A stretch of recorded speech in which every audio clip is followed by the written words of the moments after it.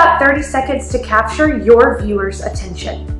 You have managed to bring a potential investor on your campaign page. Now, you need to keep them on the page and pitch your idea as best as you can.